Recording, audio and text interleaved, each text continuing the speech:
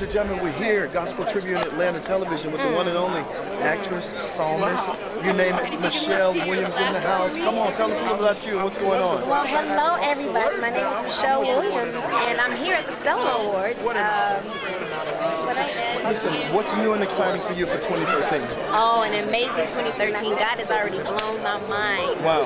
This year, and it's only been what just a few days into the new year.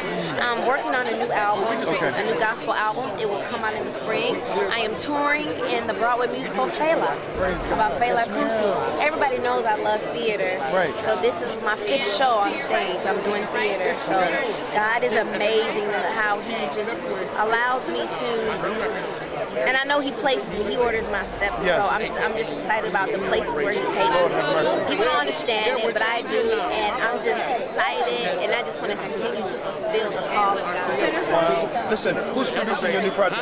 You got Harmony Samuels, right. Warren Campbell.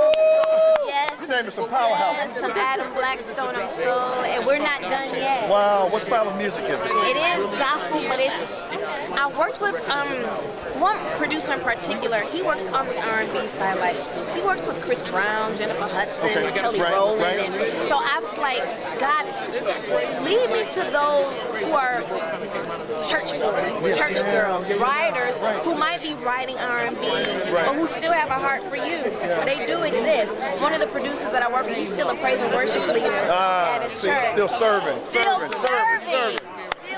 Still serving. Yeah, yeah, there's yeah. still light. Okay. We, we, you know, he may not be a pastor in the pulpit, but I believe he's a pastor Oh, he to has a those, to those, to those artists that he works with, and just his example, you know, changes their lives. What has changed your life? Everybody in New York. Um, Over the years, I mean, you're doing theater, stage, Continuation of music. Your song have hit the charts, and you've been with Destiny. I mean, God's faithfulness, not to the church, but and it's okay. It's okay because people want to hear that. God's faithfulness and recently, you know, people say Jesus loves me. Oh man, I know Jesus loves me. Right. We know it when we hear, but have we accepted it and allowed it to pierce our heart and just be thinking about He really loves me. He really loves me.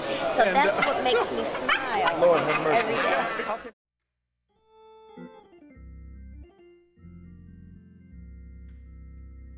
Is something about God's presence. Help me set the atmosphere. Let's send a message to glory, saying, Lord, you're welcome here. If He comes, there will be joy, peace, and good cheer.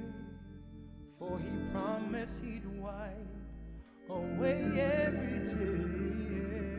tear.